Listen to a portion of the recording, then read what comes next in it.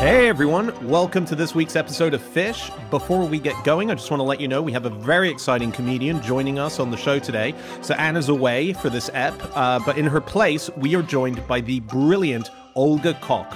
Olga is the perfect fish guest. Not only is she incredibly funny, but she's also an absolute thunder dork.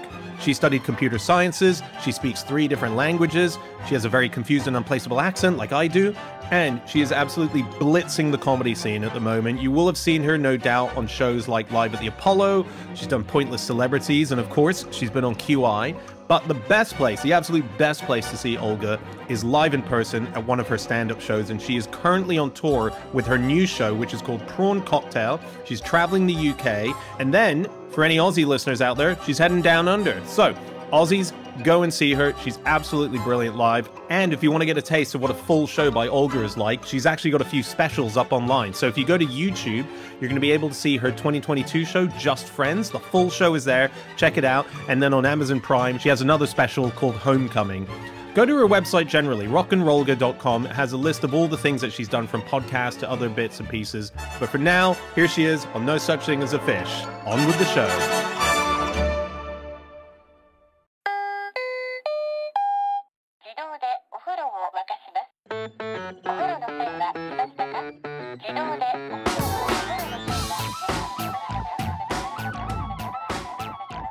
Hello, and welcome to another episode of No Such Thing as a Fish, a weekly podcast coming to you from the QI offices in Holborn. My name is Dan Schreiber. I'm sitting here with Andrew Hunter Murray, James Harkin, and Olga Koch.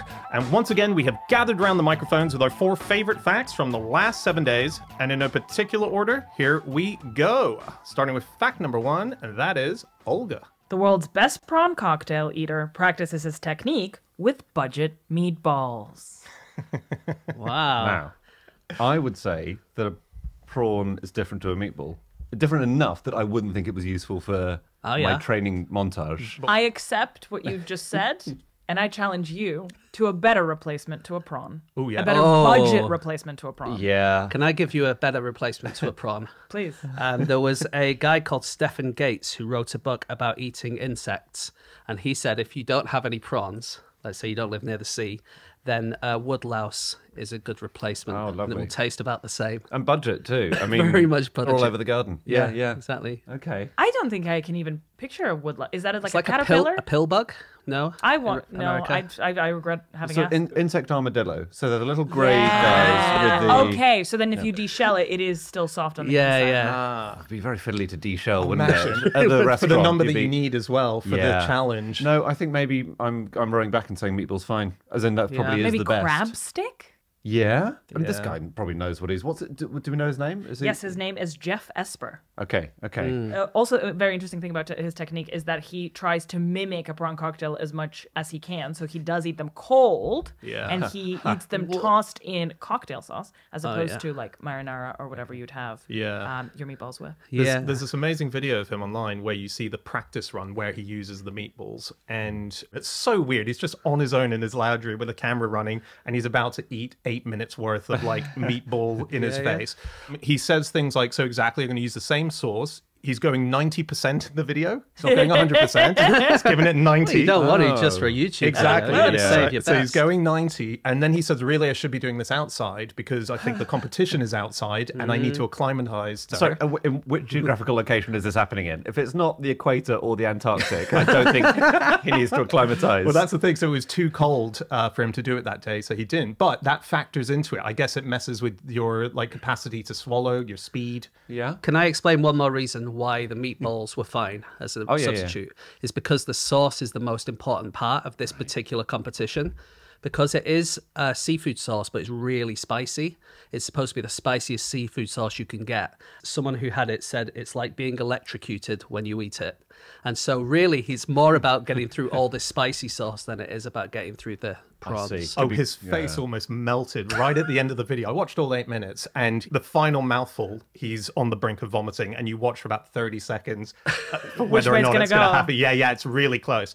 Can I give you a few of his records, his other Please. records? Oh, Because yeah. Jeff Esper, he's a big, big player in what is known as the MLE, the, the Major League of Eating.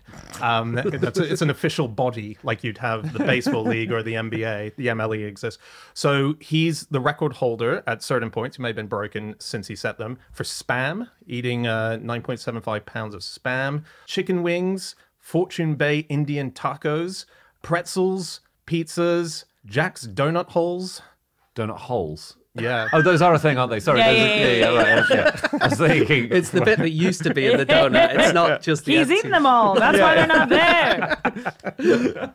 Yeah, and oh, Texas well, sausage. impressive. To me, it seems like you know in Olympic swimming how people get loads of medals because you get a medal for 100 meters, for 50 meters, for 200 meters. It's all basically the same thing. Hmm. It feels to me like once you can eat a load of shrimp, then you could probably eat a load of donuts and you could probably eat a load of everything. It's oh. like he's only got one skill and he's getting all these records. I think it's all to do with training, right? Well, I think in Major League Eating, if you are some plucky kid out of nowhere, the best things to go for are things where you can innovate. Because there are some which are volume based. I see. Where you just have to drink as much honey as you can into like whatever. and that depends on how big your stomach is. Exactly. And Right. it just that is just about You do have to do that competition in just a top no pants poo.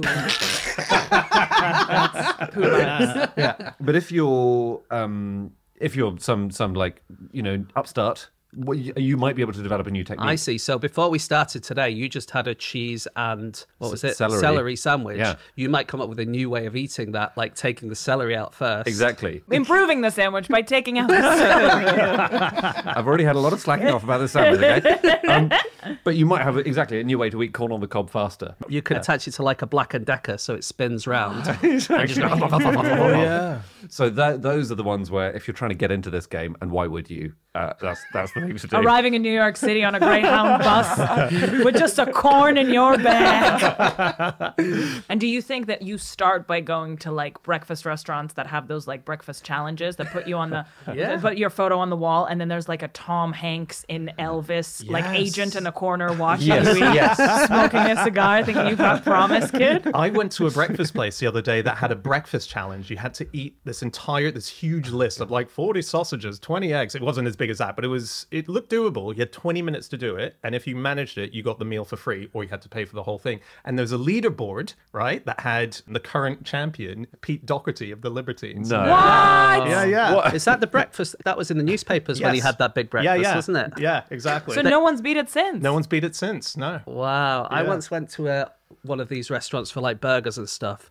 And my sister ordered the huge sort of challenge thing. She's quite small, my sister. Mm. And she was really getting through it. And the waiters are all looking at her going, bloody hell, she's doing good. Mm. And I just ordered one hamburger. And it was really small. And I ate it really quickly. And I was like, I'm going to get another hamburger. And then I got my sister to order it. So she's wolfing down all this thing. And she went, Can I have another hamburger, please? I read um, an interview with jo- Jeff Esper. Oh, yeah. His favorite movie is Cool Hand Luke. Oh, I haven't seen that. Um, well, in it, there's a guy who has to eat 50 eggs in an hour. right. Uh, and that's, I think, why he likes it. Yeah. Paul Newman. Paul Newman, yeah. Mm. Wait, no, hang oh, on. Paul Newman then opened a very successful line of mayonnaises and Yeah. stuff. Salad Yeah. dressing. Was wasn't it? that to eat with the with eggs. well, I that's. Yeah, was yeah. the film viral marketing for Paul Newman Ranch? First ever. Yeah. Because the fastest way to eat 50 eggs is actually whip them up in the mayo, emulse them. Oh, Right. really? He doesn't do that in the movie. He just noms on them. But in the TV ads, he would. he would be yeah. walking saying, "I like my 50 eggs." you know. 50 eggs per bottle. Come on, that would be amazing. Uh, anyway, this interview then asked Jeff Esper what a movie of his life would be called, and he said, Cool Hand Jeff. So, Nice. That's a good name. you know, he's quite a witty guy as well. Yeah. Maybe Poor he was Jeff. full. We love you, Jeff. Uh, but then in 2023, the second and third place in this shrimp eating competition were Miki Sudo and Nick Wehry, and they're married to each other. cool. Oh, did they meet? Oh, did oh, oh, oh, did they meet doing the Lady and the Tramp? But it's like an 18 foot long sausage, and they're Yeah. both slowly eating towards each other. I think they met in the competitive eating sphere. That's adorable. It- we it- locked eyes as we were both throwing up a hundred thousand marshmallows into a bucket. Um, and they said they have a child, the two of them, and they said the child can do anything they want when they grow up except become a competitive eater. Why? I think they're just in it and they don't feel like it's a good job to have. Feels like they're worried it's going to be a Darth Vader situation where the child's going to knock him off. Yeah. yeah What I will want to say about Miki Sudo is that she is, I believe, the reigning champion of the Nathan's hot dog eating competition's women's category. Right. And Nathan's, um, the Nathan's Coney Island uh, hot dog eating competition is really the biggest competition in the competitive eating league and the one that put competitive eating on the map. Major League Eating. It was born out of Nathan's. There you go. Yeah. But it's only been split by gender, I believe, since 2011. Before that, women used to compete with men together, and they used to place in the top three routinely. Right. And then they split them. And I know all this from a book called Raw Dog by Jamie Loftus. It's an incredible book. I recommend it to everybody. And basically, they were like, it's going to be the same. It's going to be the same. But the men's one is uh, televised and the women's isn't. And women get less prize money. Oh, that's, That's dumb. actually quite Yeah. sorry. The men's is televised and the women's isn't. Yeah. that surprises me.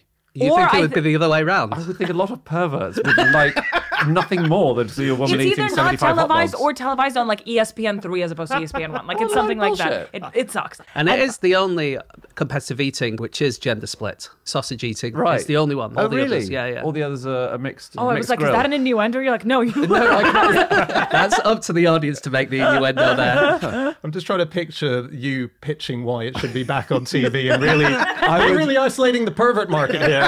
I was They got pitching- big bucks. I would do an incredibly subtle pitch, which made it very, very clear who's tuning in. Um, Joey Chestnut. Yeah. So he's managed 76 hot dogs in one go. And I think I think we may have even mentioned before the thing to do is to dip the bun in the water so it gets all Slides down. Slides down. But I love this. The 1984 competition. I think this was Nathan's. I'm not sure. It might have been a different league one. It was won by someone. She was a 17 year old West German judo. What do you do? Judo artist? Judoka. Judoka. And she had never had a hot dog before the competition. No. Oh. But Isn't then that that's incredible? That, and you're like, oh my god, this stuff is incredible. I could eat a million. Yeah. And that was her. Yeah. That's incredible. That's Th- Was it awesome. like she looked at it and she'd never seen one, so she didn't know how to eat it? And she was like, maybe I just shoved 10 of them in my mouth at once. She innovated. Where did they find a German who's never had a sausage before? Yeah. Apparently, uh, Chestnut, uh, Joey Chestnut was saying once you have that many hot dogs, you immediately need the toilet. And No. um, the problem, they don't really digest fully. So you kind No, I of don't. shit no, hot no, dogs no, out. I, no, Clean no, out. no, Clean Come out. on. That's what he said. How, do you, how can you tell the difference realistically? I think when you feel a solid hot dog coming out your butt He's- 75 Because the times. bun also comes out. That's his shit is inside the bun. Let me tell you a little something about corn. Um, also, I'm uh, basically the Nathan's uh, hot dog eating contest was put on the map in the mid 2000s by a Japanese competitive eater called Takeru Kobayashi. Takeru Tsunami Kobayashi. And then he basically made it super popular in America. And then Joey Chestnut was introduced to him as like the American down home alternative. And so it was, again, it's the, oh. the Nathan's hot dog eating competition is a story of sexism and racism and hot dogs. In the advertising, they mostly stress the hot dog part of it, don't they? Fine print, fine print. If only we could get perverts into that fantastic strap line.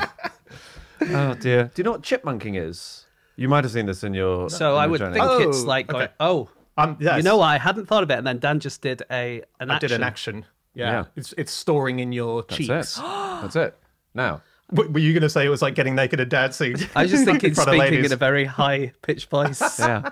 It's- as, as you might expect, given what we're talking about, it's absolutely Dan's thing. It's um, The press conferences would be great though in the lead up to that. You're going down. no, it has to be in your mouth, right? The food before the count ends, right? So if you're counting down, you know, you've got ten minutes to eat this many whatevers. The food has to be in your mouth, and then you get 30 seconds to swallow it. So often the photo finish bit is just right. Just get all of this in your mouth, Yeah, and as yeah. long as you get you get 30 seconds after the clock stops. There That's it. used to be all you had to do was swallow it in a timely manner. That's all it said. And it didn't say it was exactly 30 seconds. And then there was a guy called Crazy Legs Conti uh, who lost a competition because he couldn't eat it in a timely manner. And they thought we're going to have to make a proper time I limit think now." that's right. It's like I've started, so I'll finish, or the so. bell, Yeah. the quiz bell goes. Would this make sense of the final few seconds of Jeff Esper's practice for the prawn cocktail? Because he goes over eight minutes, he stops the clock, and he has a mouth that is Yep. absolutely. And I'm going to spit it out, and he's so that's what it is. He's, chipmunking. using his 30 seconds. Chipmunking. Clever. Um, Very clever. Crazy Legs. Just Oh, yeah. while you mentioned him, James, he. I read an article. It's his legal name, Crazy Legs Conti. He compares. I'm quoting here from the article. Compares professional eaters to musicians. He says the way eaters move and shake is an effort to get breath out of the esophagus, stomach, and lower intestine, as trumpeters would oh. with their instrument. Hmm. That's interesting. You know, circular breathing, where hmm. you can play like a didgeridoo without breathing because Yeah. you breathe through your nose and out of your mouth. Do you reckon they tried that? That could be a new innovation. Is the breath sausage in this? Like, I mean, you shove as much sausage in your mouth while breathing through your nose. Through your is what nose. I would oh, say. maybe. Yeah, yeah. yeah. Right. But like maybe the sausage in the nose is the Fosbury flop moment that that no hero has managed to achieve yet. Oh, right. You found two more entry points. Yeah. Right. Interesting. the perverts. They're tuning in.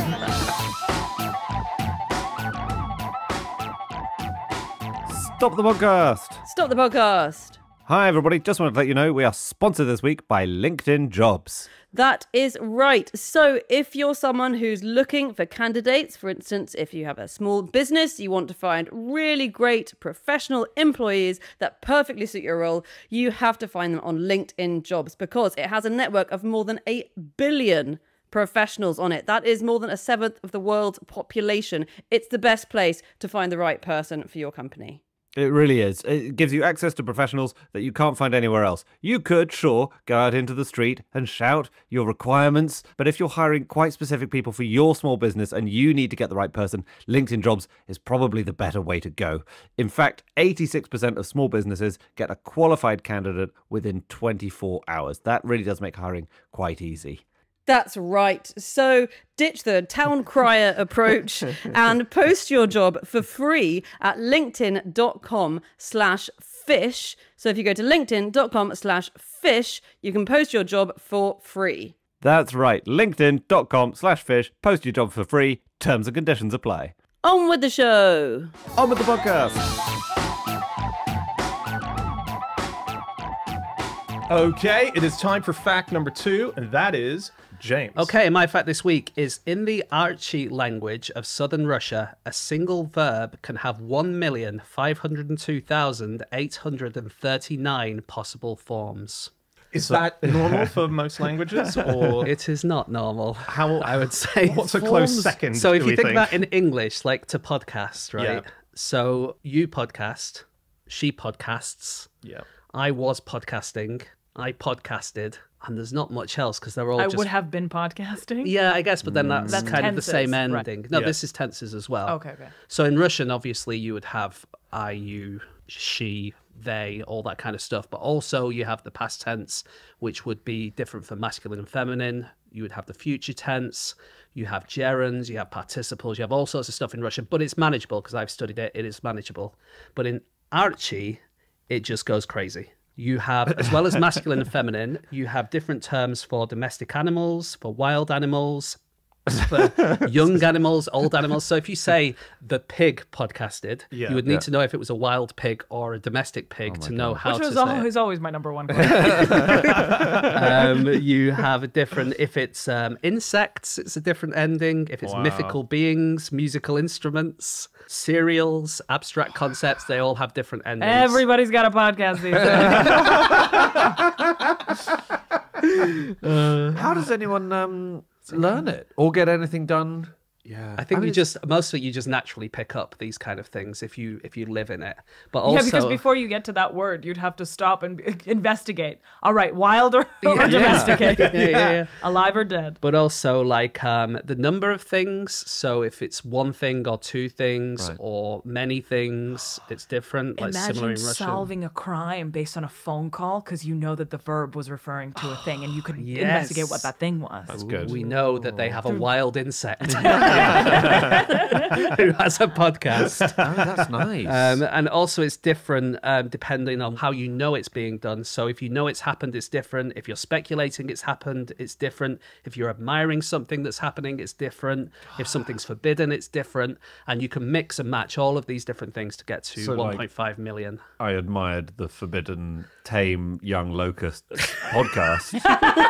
or broadcasting. But you think about that, you had to use so many words to say that, right? Yeah. But they would be able to say it in one word that's really because they would know all of the endings. They'd be like, well, that's implied by the way you've so said it. locust stays the same, like all of that stuff. You could just say the locust podcasted, so you just a verb and a noun, and you would get all of that information by all the different endings. It's like anti-German. It's the most efficient. Yeah, yeah. It's So super as a result, has this language become hugely popular and is spoken by tens of millions? Because it's It's efficient? spoken by very, very few people in Dagestan in Russia, and it's about 20 kilometers away from the village of Sovkra Adnaya. Who do you remember? It was the place where everyone knows how to tightrope. Oh no way! Yeah, there's a village in Russia where everyone knows how to tightrope, and it's just over the mountain from there. What an amazing pocket of the planet this is. Isn't that amazing? this is incredible. And I should also say that, Andy, once you've learned all of these 1 million different forms of, of standard verbs, that helps you with about 170 of the most common verbs, but there are more than a thousand exceptions,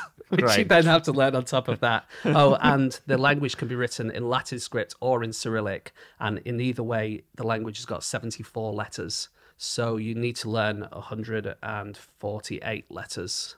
What, I was going to ask how many letters can there be for there to be this many endings? Because you would just run out of letters for even combination. Yeah, this is why I failed my Archi GCSE oral. this is it. That's why. I'm so annoyed. So yeah, it's just a very, very complicated language, and it exists. Have you heard of the Foreign Service Institute? I think they're an American outfit. No. And basically, they sort of rate languages on how hard they are to learn. oh yeah. So, like for English speakers, sorry, native English speakers. how- So, like French is category one. You know, Fr- like Romance languages because they're like English borrows a lot we from them. derive a lot. Yeah. Yeah, and you already know that's yeah. Easy for English people. Completely, to learn, yeah, yeah, right? yeah. Yeah. And then category three is Indian, uh, various Indian languages and Swahili. Category four, it takes 44 weeks to learn. It's sort of going up in the number of weeks. So Russian, Hindi, Tamil. How many weeks is it supposed to have taken me to learn Russian? Don't worry about it. Don't- well, it's taken me five years, and I'm intermediate. Yeah, that's about right. Yeah, yeah, yeah, it's fine. Yeah, yeah, um, category five is Mandarin, Cantonese, Ja- Japanese, Korean, Arabic. Category two only contains German. It's Oh. completely Wait, but its English is a. Germanic language. I know. I think I think they decided it's a bit harder than French, but it's the only one. It's just there on its own in their category Actually, system. German does have quite a lot of conjugation, doesn't it? Because you speak German a little bit. It's got four basic cases, and Yeah. then like it's not. It's all right. It's a bit. It's a bit because like French and Spanish and um, Italian, they're all kind of debased Latin, if you like, because they just cut out all the complicated endings and Right. you know, and it's because as Latin spread. I want, yeah, I guess Yeah. it's like they're like how to speak it correctly because I speak fluent German, but I can't conjugate shit. I'm just, I'm, all, I'm always like, you know what I'm saying. but, but do you get I it right? use, do you like- get it right? Even though ish. you like Okay. sometimes I'll be like, I'll know a noun, but I won't remember its article, so I'll like gender it just on a guess alone, and I'm sure that I'm sure whoever I'm speaking to will kind of guess. But I always get worried about that because if I get the gender of a noun wrong, they'll like they won't know I'm if I'm saying das table or whatever. I know it's not table. I can't remember the word table either. But like I think Tish, people and you're just Tish. like. das Eh, tish. das tish, der tish. It's not doesn't change the, the fact that it's a tish. So it's fine. Relax. Oh, It is right. handy because I, I read an article um, where they interviewed 56 native French speakers and they asked them to assign the gender of 93 masculine words and they agreed on only 17 of them. and they were asked to assign the gender of 50 feminine words and they agreed on only one. Wow. It's So, just vibes. I love that. This is you fixed German basically for anyone struggling. I think that's a good thing in all languages, really, is that if you just try, people will hmm. accept it. Yeah. That's true. They're yeah, the Russian language has th- three three genders for any noun, but if you get it wrong, I'll still know what you're talking about. Right. Okay. Sorry, hmm. may- maybe I'm making a lot of German and Russian people really angry. Where is Archi on the list? Archi is not on this list. I think there's a secret too category far in the in the- lockbox. Yeah, yeah, yeah. But Russian is difficult because the stress can matter, right, in words, and that can make a big difference. So you can see it written down, and you wouldn't know necessarily the difference between, say, muka and muka, right, where right, one right, of them means flower and the other one means torture. yeah. Oh. So if you just see that written down and they don't have the Well, if you have on, celiac, Oh, that kind, that kind of flower. yeah, yeah, yeah. Yeah, I was yeah. thinking the So- other kind of flower. again, oh my god, sorry. Oh, flower, flower. yeah, yeah, yeah, yeah, yeah. yeah, yeah. I don't think. Is there any way of telling verbally flower? no flower, context only, I think. flower. We don't. Maybe Irish flower. accent. I always say floor. But people mistake it for the thing we want. Valentine's Day is always very disappointing, though, for your wife, isn't it? it's a lovely flaw. There was a woman. Oh, I wish I could remember this now. Oh God, there was a, a woman in America who was arrested for throwing a pancake at an American president.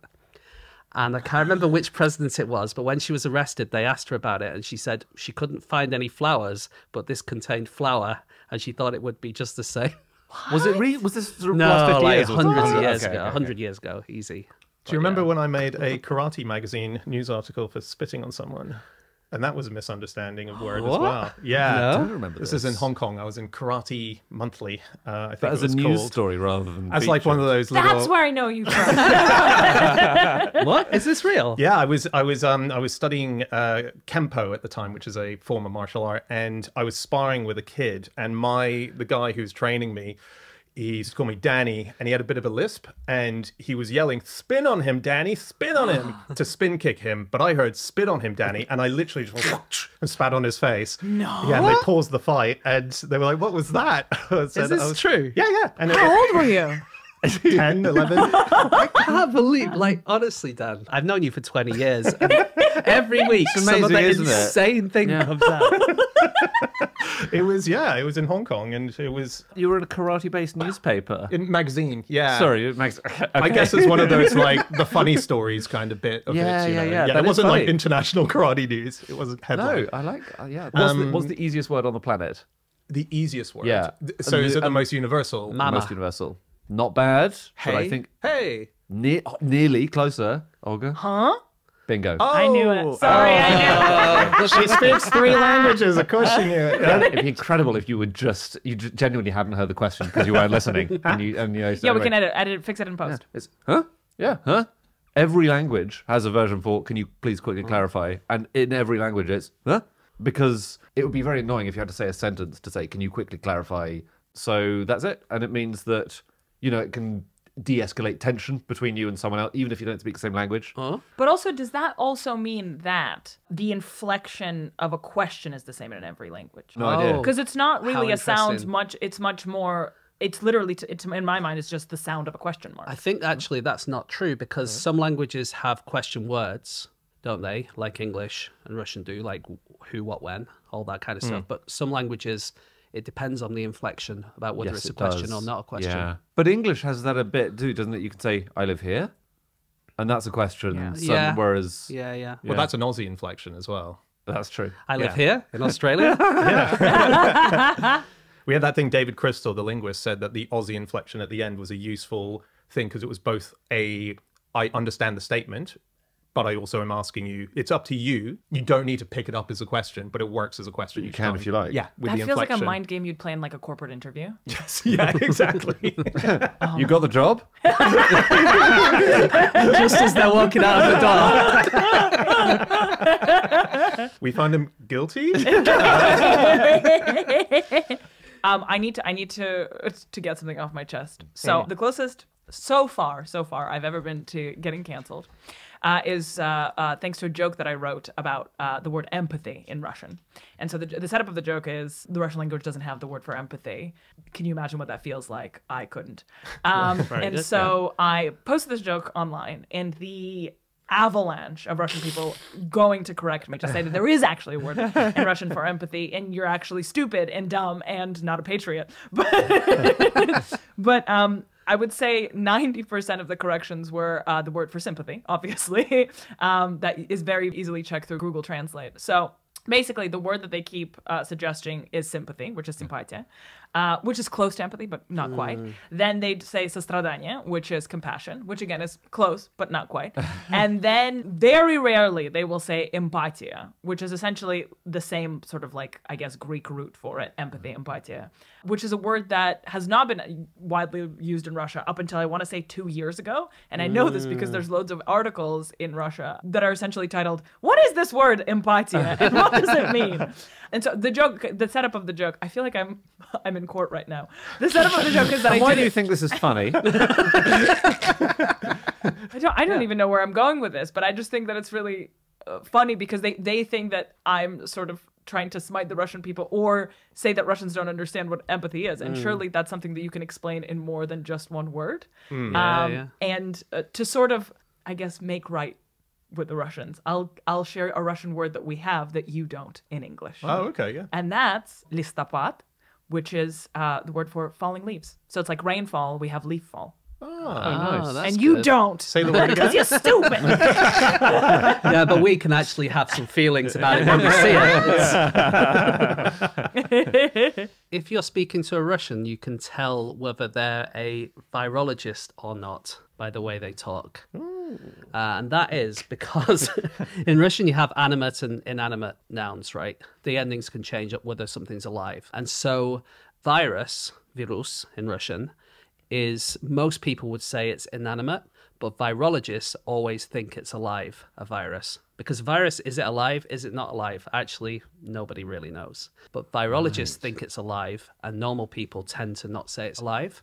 So if you say, um, on dal mnie coronavirus, then that would mean he gave me coronavirus, but that would be a person who's not a virologist saying it. But if you said on dal mnie coronavirusa, that would be animate and it would be a virologist saying it because they think viruses see. are alive. And how useful have you found this, James, in your life?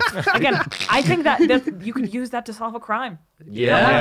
Yeah. Who was the murderer? yeah. It was it was It was a the virologist. virologist in the library with a candlestick. Probably with the anthrax. Do you want to know a fun fact? Yeah. So you know how like Not on this show. You've come to the wrong place, lady. so do you know how like French kiss is making out? Oh, yeah. Or like Irish goodbye is leaving without saying Yeah. uh, goodbye, Oh, yeah. or French exit as well. Yeah. But um, in Russian, a buffet is a Swedish table, and Ah. a family of three, which is like two women and a man or whatever whatever combination of genders in a in a thruplet, is a Swedish family. Get away. interesting. So ménage à trois, which is what we would call it. I don't know because like three people living together. It's not a threesome. It is like Yeah. it's it is a I relationship see. of three. A thruple. A throuple. I'm the only one still saying ménage à trois. Um, everyone else said truffle. I'm, I'm out there on the apps. or the pervert apps. Ménage à deux, six. Loves ESPN nostril based dog eating competitions. Uh, either this is for Olga and James. Pea hole dandruff. Is that a? Don't speak. I'm not a native Russian speaker. But you love dirty words. So, Uh, that's true. Yeah. I've never heard of that- I just I went on I went on a site where it was sort of like weird rude words from Russia and and Can you say it in Russian? this this bottom. Have you ever heard of that word before? I have never seen this in my life. I did move from Russian when I was 14, so maybe like it's a sort of high school word. That's a Yeah. 15, that word is a 15 certificate. So you wouldn't you wouldn't have known about it. See, I don't think it's a real word, but it was on a site. What does it what does it mean? Yeah, Sorry. It kind of doesn't really mean anything. It's, It's just a, you just it's a you beautiful word for when the pollen falls from the trees. I can't believe we don't have this word in English. Amber color. Do you know the Bicol language of the Philippines doesn't have um, it has swear words, but people don't really use them because it has a complete other vocabulary if you're angry. So you speak normal Bicol, blah blah blah blah blah, but as soon as you're angry, you just change all the words that you use so that people can tell you're angry. God, that's great. I think so you're it is saying the same stuff, but it's different using different words using for it. different words yeah so it's a bit like with my daughter when she does something bad i normally call her jelly but if she does something bad i go angel like Yeah. as, you know it's an Yeah. angry But it's a completely different vocabulary, even. Yeah, yeah. Oh, that's I hate to bring it up, but again, such beautiful evidence in a court case. Yeah, yeah, yeah. yeah, it's like, was it a crime of passion? I don't know. That's so good.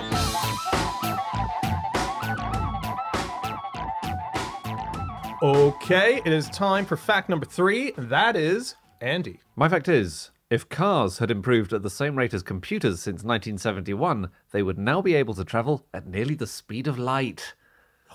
Wouldn't that be cool? and if my grandmother had wheels, she would also be traveling at the speed of light. they would also be smaller the carts right Yes, they would be about half an inch long, unfortunately. so, ah. and this is based on something that Gordon Moore, who was the co-founder of Intel, mm-hmm. huge computer company, said in 1965. He noticed that the number of transistors you can fit on a, a chip, a computer chip, had been roughly doubling every year for the previous 10 years. And he said, "This is amazing." and he thought it would keep going. He thought the principle would apply. Maybe it would be every two years the number you could fit on a chip doubled, but he said, I think this it's good for at least ten more years, and it actually has stayed true for about fifty years at least since he wrote that. And it's slowing down a bit now, but cars would be able to travel at the speed of light because the number of transistors hmm. you can fit on a computer chip now is so huge. Hmm. The numbers are just mind-boggling of how much things have improved. I suppose the thing was that we got to a speed with cars where we thought there's no point going much faster. Is that right? Because of safety reasons and stuff like that. I suppose. Obviously, so, if we moved at the speed of light, then we'd also go infinite mass, and oh, that would slow you down.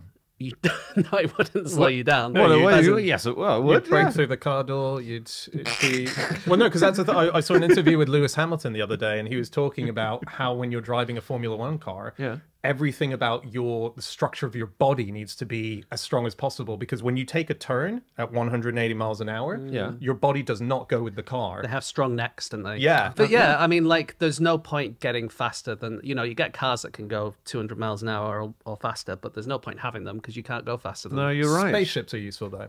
Yeah, Yes. again, it's just it's really just about transistors. I I, I feel like I've completely. But am I correct in understanding mm. that, like, I remember this distinctly as an example in a textbook that at some point it becomes imperceptible to humans? So, like, they tried doubling the amount of pixels in, like, computer graphics, but at some point, once you double it, your a human eye can't see that it's double. That's a really good That's point. true. Yeah. I think a computer screen now can show more colors than the human eye can perceive.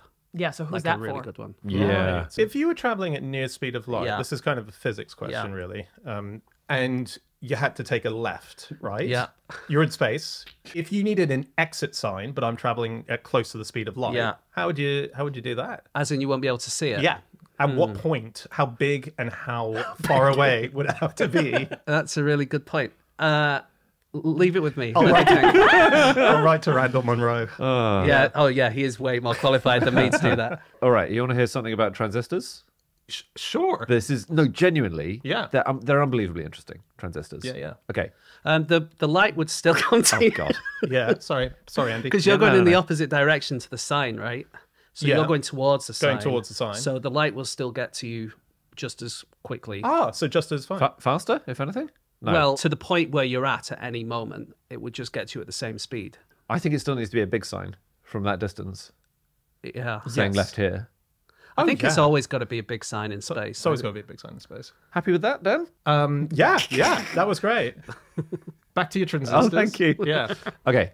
I just like here's the thing. Right, 1971, Intel released their first ever microprocessor. All right, So It's- I do have a absolutely not. No, no, no, no.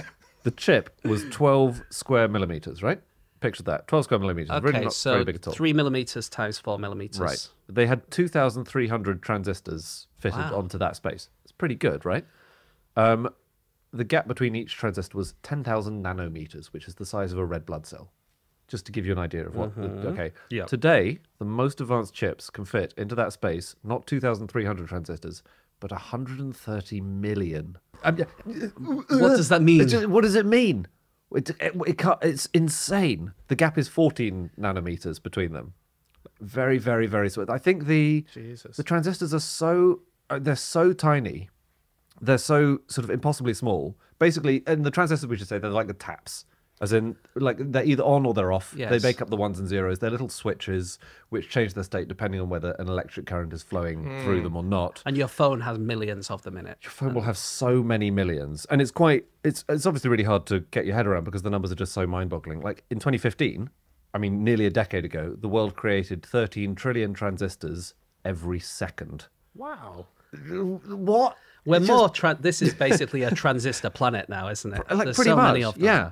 And they they're now kind of printed directly onto the chips. It's not like there's a big pile of. Yeah, someone's not. Not a jeweler trying to fit this Oh, I've dropped. I've dropped it. Nobody, nobody move. Nobody move. Just one old man in a cave in Turkey who's just putting each one oh, together. Yeah.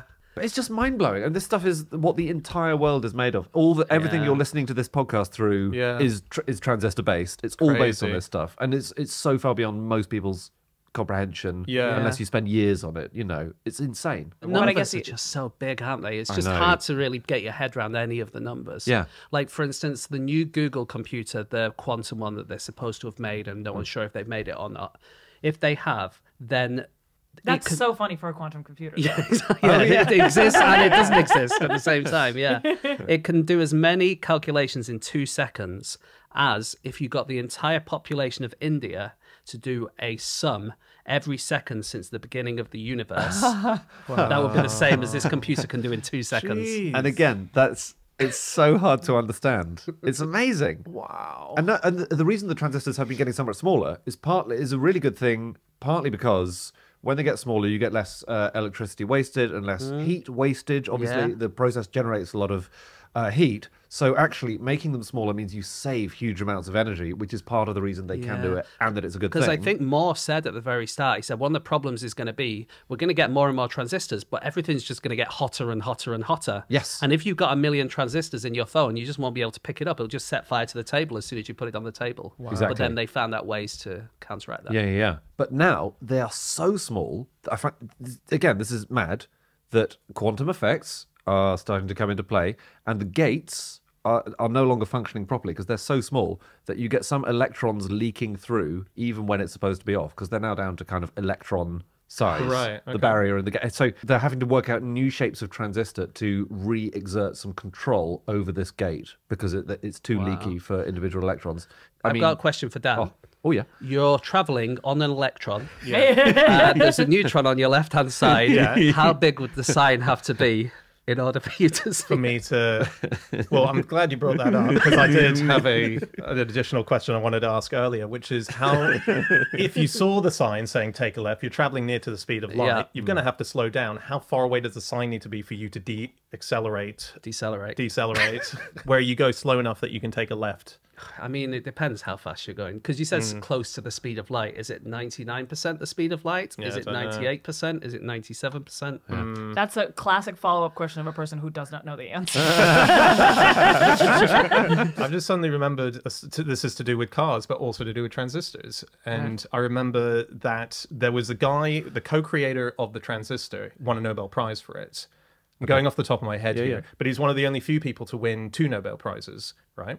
So the second time that he got announced as the Nobel Prize winner, there was a party that was going to, because you know they kind of know that something's Yeah, coming yeah. up, was being thrown for him, and he almost didn't make it to the party because he couldn't open his electric garage because the transistor had broken that allowed for it to switch open. Lovely. And so someone had to come and pick him up and take him to the That's party. so funny. Um, Moore, Gordon Moore, he was a very cool guy, very interesting guy, co-founded Intel. Um, he, I mean, gave he became incredibly rich, obviously, and gave loads and loads of his money away to protect the Amazon, protecting salmon rivers because he's a very keen fisherman. Uh, but he founded uh, Intel with Robert Noyce was his colleague, Noise. and they wanted to call their They firm. invented Brooklyn Nine-Nine, didn't they? They wanted to call the company More Noyce.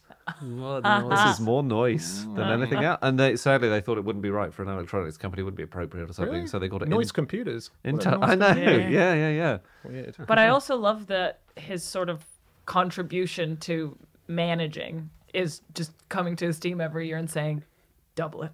That's it. well, yeah, because actually, quite a lot of it with Moore's law became like a self-fulfilling prophecy. They knew that it was going to have to double in a year or in two years, and so that's what they did. They could have gone faster, but they were like, "Oh no, it has to do this." Right. It's still holding up, I think. It just depends who you speak to. Uh, People have been predicting that it's going to. We can't possibly keep on doubling it every two. And maybe it's now close to every three or something. But it's it's. Uh, Well, have you heard of Bremermann's limit?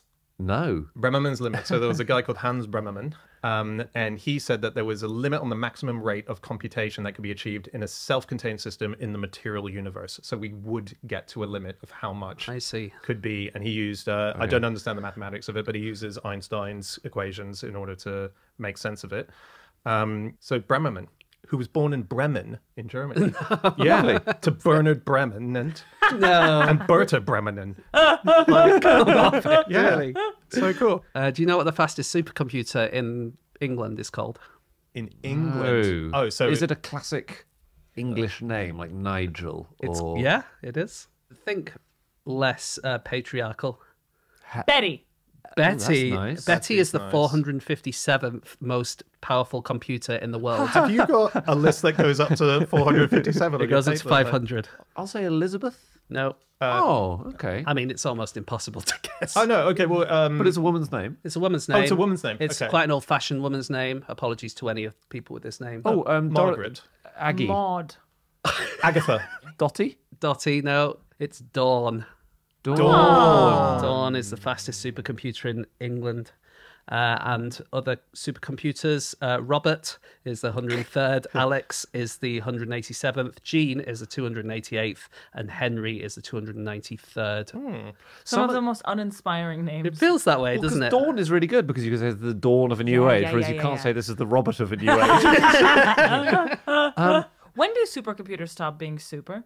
Like surely hmm. supercomputers from 20 years ago are no longer Oh, super. yeah. Great point. It's all the number of calculations per second, isn't it? Yeah. Or the number of and minutes surely the bar second. keeps rising, right? Yeah, yeah, yeah. we had using old computers a very big problem a couple of years ago, four years ago. So while the pandemic was breaking out, one thing that went a bit unnoticed is that hundreds of places got hit by the Millennium Bug Y2K What? In 2020? in 2020. Yeah. Why? Because what happened was at the time, so Y2K was a big problem, right? The problem was is that when we hit 2000, the computers thought it was 1900. That was Yeah, the yeah. so it was jumping backwards, and that was So you to would go the 1997, 1998, 1999, 1900. Yeah. Exactly. And that was going to mess up loads and that was going to mess up and- everything. That's the best setup for a rom com I have ever heard in my life. A singleton in 1999 at a New Year's party travels back in time and falls in love with someone from 1900. That's great. Guys! That's very nice with a computer that glitches and gets them. Yes. Um, but yeah, so what ended up happening was in that period where everyone was desperately trying to fix a Y2K bug, they changed the coding so that it was 2020. And they thought what would happen is so 20 became the number, right? And they thought in the 20 years subsequent, they're going to become obsolete. We'll have new computers. This is not going to be an issue. I see. So computers thought it was 2020, but actually it was 2000. Is that right? Yeah. Yeah, exactly. So um, So then we got to 2020 and everyone went, like Brexit, we've been kicking it down the road. we kicked it down the road. Now, a lot of places had changed their systems, but a bunch hadn't. So there was, and it was weird things like there was a version of a game of WWF which crashed because it was an online download. Oh and my so they had god! To re- What did we do? Because I thought like planes were going to fall from the sky and stuff. Not people won't be able to play WWF on the PlayStation. And we now problem. work out how Dan knows about this problem. his, his- his plans for lockdown were completely wrecked. It's a huge issue. We could download WWF, also other things, I imagine. Oh yeah, and five thousand players fell out of the sky. Yeah, no, um, and it was like things like um, grocery stores that had till systems that were automated. Right. Suddenly, Right. those were crashing. So you couldn't buy the game in the first place. exactly. It was What a a nightmare. nightmare, It was horrible. There was a website called Splunk, uh, which suffered from it. And um, Not Splunk! Splunk is a website that looks for errors in computing. How so did that you was, uh, accidentally end up on that website? Can I tell you one more thing? Yeah. Okay, this is about how your phone CPU is made. You sort of what is that central processing unit? This is, Yes. Okay. This is from an interview with a guy called Chris Miller, who's written a book called Chip War. Okay. Mm-hmm. I'm quoting him directly. This is what gets into your modern phones, right? A ball of tin falls at a rate of several hundred miles an hour through a vacuum. It's only about 30 millionths of a meter across. Okay, small ball of tin. Hmm. It is pulverized by two shots from one of the most powerful lasers ever deployed and explodes into a plasma measuring several times hotter than the surface of the sun. This plasma emits extreme ultraviolet light at exactly the right wavelength of 13 and a half nanometers, which is then collected via a dozen mirrors, which are themselves the flattest mirrors humans have ever produced. Hmm. The mirrors reflect the light at just the right angle so it hits the silicon wafer and carves the circuits onto the chips that make your iPhone possible. what? And that's so that Dan can play WWF games on his phone. it's the biggest step down for this system. It's like that's isn't that nuts? That's how. That's I don't you think fi- I understood any of that. I'll be honest. I'm clinging on. I mean, it's incredible. Oh, uh, we should say uh, Kenny Stoltz, a listener, sent that in a little while ago. That interview with Chris Miller. It's just that is nuts, isn't it? And th- these machines, they're so accurate that it's like shooting a laser from the moon and hitting an individual coin on Earth. That's how Apple, precise Apple they can be. deserve Wow. every penny they get, don't they? Especially the podcasting team.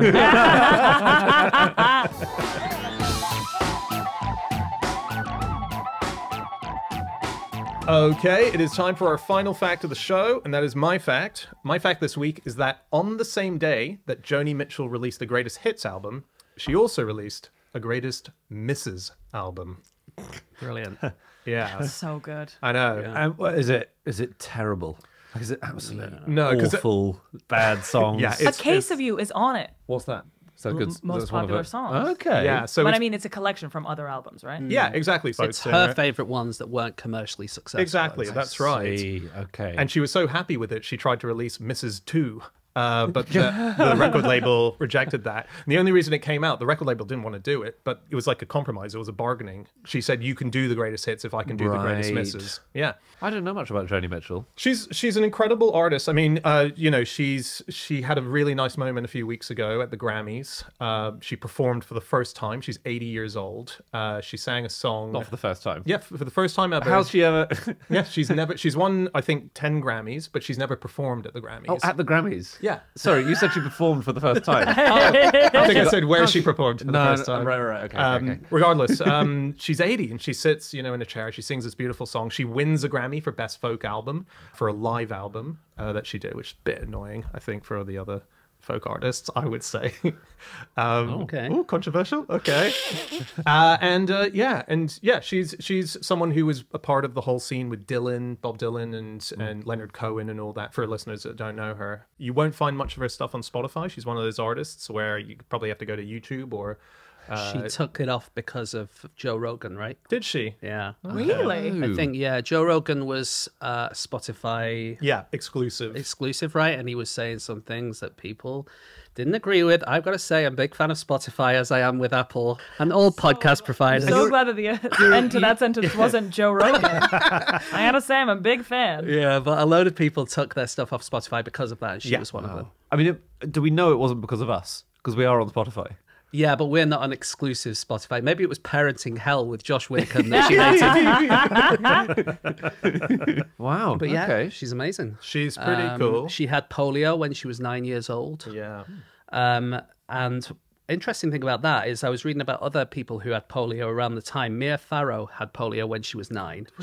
Uh, and she wrote that she was taken to an isolation unit because it's catching polio, obviously. Yeah. And she was taken away from all of her family for months, and all of her belongings were burned. Is this uh, Mia, Mia Farrow? Farrow, yeah. Right. Blimey. Isn't that amazing? Like you basically at nine years old, you got this disease. They take you away and they burn everything that you own. And is that is that the case with polio that if your toy had if you touch your toy you could get it from that or was that a we it weren't sure what it was? Well, no, it can. It can go through um, bodily fluids and stuff like that. Obviously, we have vaccines for it now.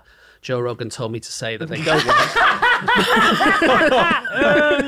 um, no, we have vaccines for it now, so it's not as much of a problem, Right, obviously. yeah. But um, yeah, it can go through feces, through spit, through wow. stuff like that. Speed with which we went from Joni Mitchell to feces.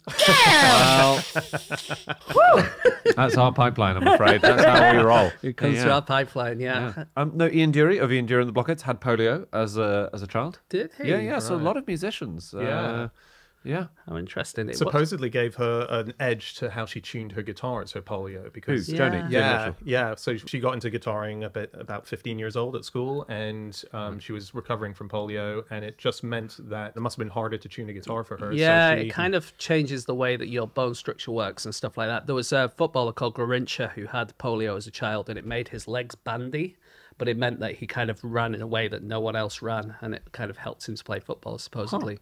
right. She um she started smoking at the age of nine, and she started singing because she wanted to get smoking money. Um, so she was in a cafe in Calgary, in Canada, and she was their resident artist. And she was drawing people, and there were pictures would go up on the walls.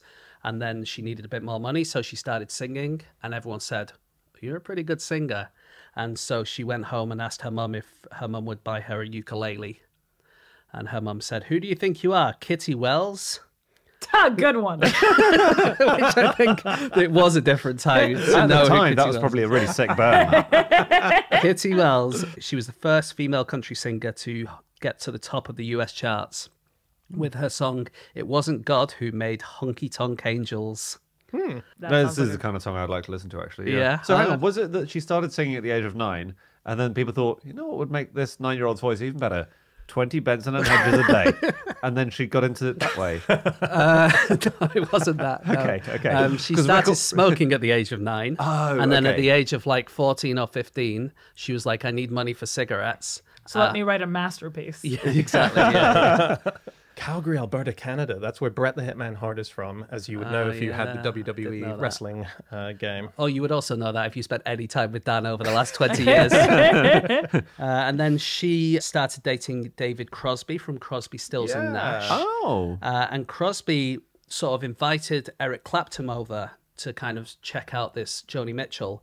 And he said that Clapton sat mesmerized by her playing and her different tunings of her guitar. Although he also said that it might have been slightly due to the fact of all the weed that he'd smoked at the time. Afterwards, he said, I mean, she's no Kitty Wells.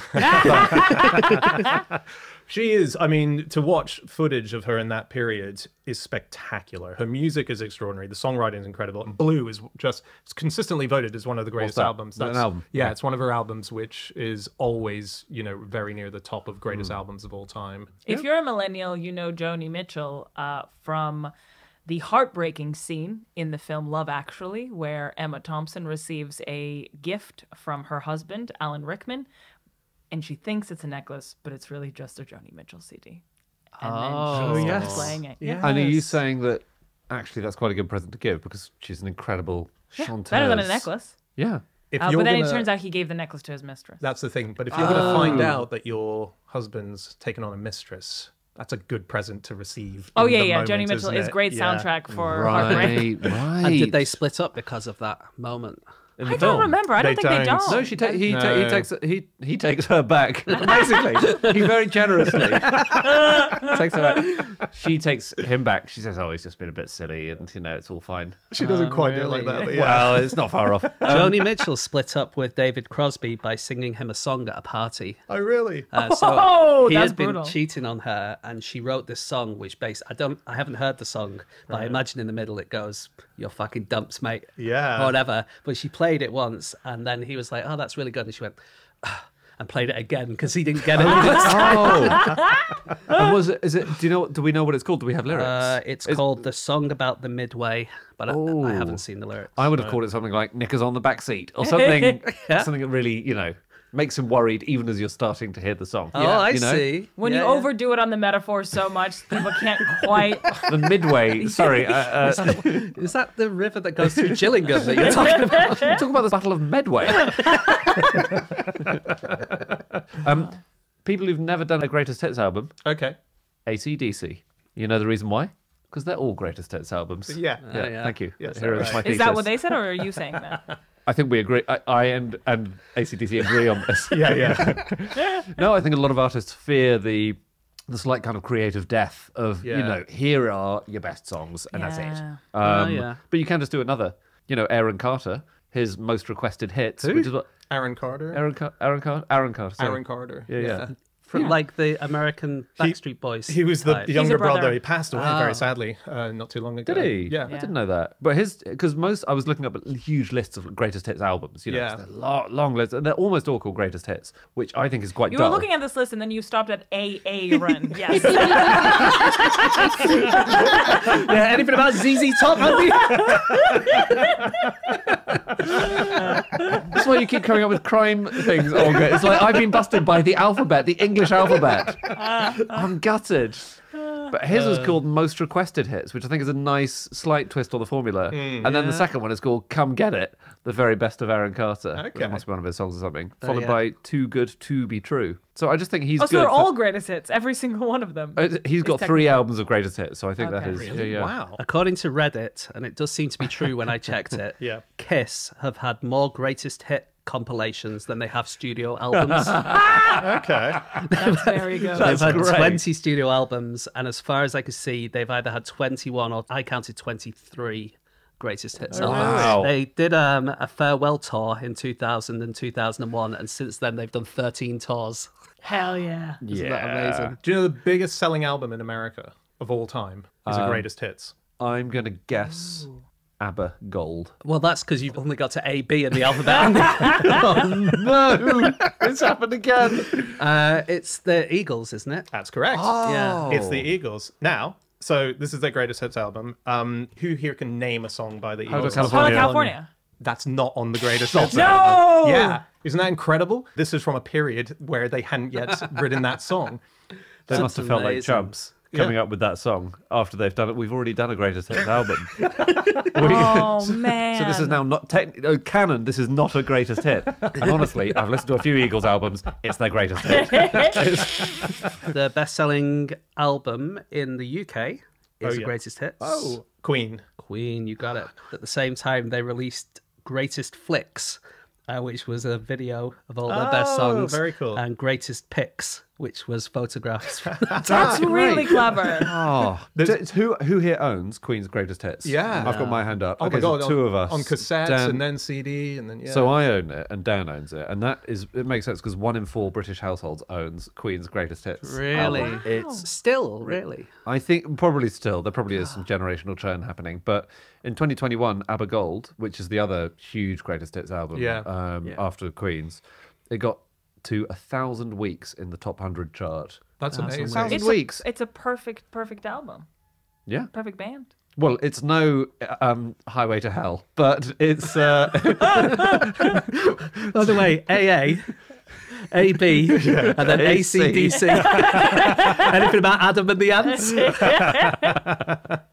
There was an album that was released in 1977 by the BBC called Death and Horror. Basically, you know um, how you can just buy incidental sounds, right? You know, sorry, like sorry. a door creaking. yeah, door creaking. Sorry, the BBC would have like an archive of incidental sounds. So this was all sounds of horrific things. Tracks included head chopped off, um, assorted creepy creaks, um, red hot poker in the eye. That was it, and it was a top 100 charting album. Goths went crazy for it. Yeah, exactly. Teen goths. And then this is this is the one I'd love to get, but I don't think it necessarily would have charted. But there was an album called Recorded Delivery by a guy called Yannick Schaefer. So basically, what he did was he put a dictaphone inside a package and he put it through the Royal Mail, and he recorded the entire journey that this dictaphone went on as it was traveling through the parcel, going through the mailbox, being picked up, put in the van. and so what you hear is whistling postmen just sort of walking along. You get sliding van doors. There's lots of clunks. You get early morning mail workers talking about their dirty sex lives. There's a sudden unexpected shout of anus.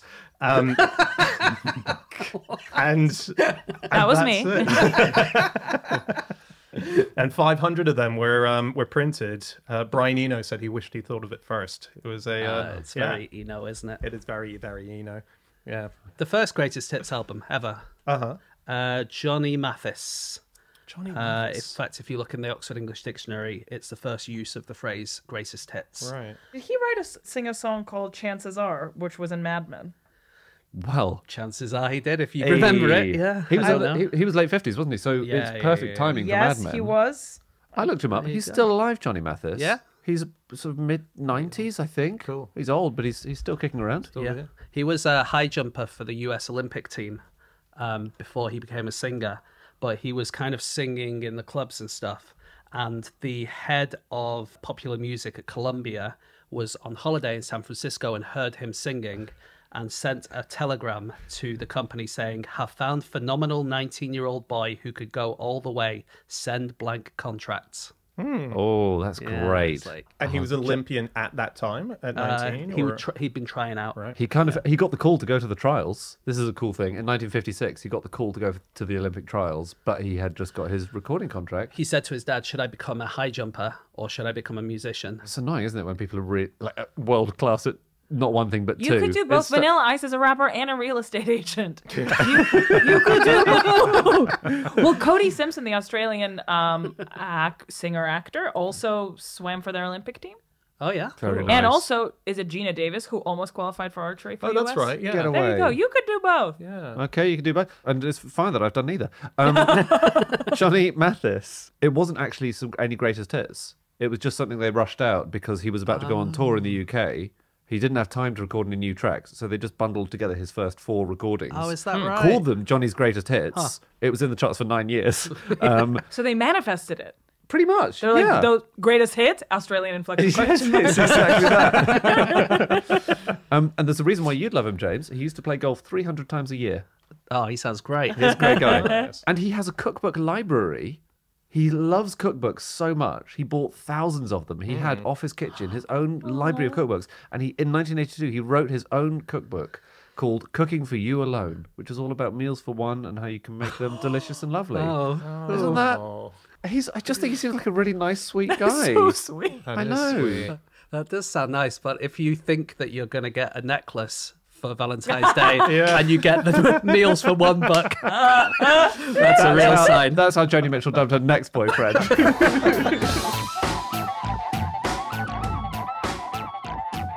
Okay, that's it. That is all of our facts. Thank you so much for listening. If you'd like to get in contact with any of us about the things that we've said over the course of this podcast, we can be found on our various social media accounts.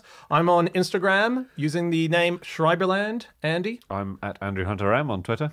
James, Uh, my Twitter is at James Harkin. yep, and Olga. I'm at Colga300 on Instagram. Nice. And also, do make sure to go and see Olga live. Prawn Cocktail. You're on tour Prawn right Cocktail now. is the name of my show. You'll just be eating it non-stop. and I promise it's going to be 100% high quality prawns and never a cheap meatball.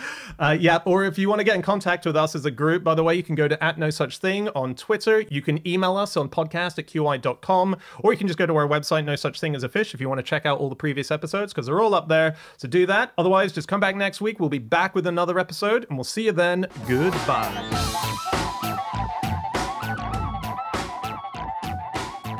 Anus! Lovely Easter egg. Uh,